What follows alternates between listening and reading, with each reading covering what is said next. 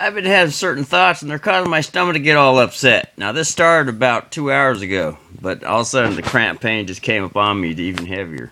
You know, it's certain thoughts, like kind of like thoughts maybe I've never really, you know, spent time upon. So what I need to do is remind myself: no security agreement, no collection.